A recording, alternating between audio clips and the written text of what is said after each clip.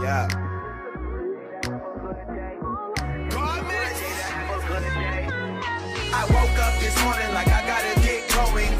Not promised, so I live in the moment. It's a good day to have a good day.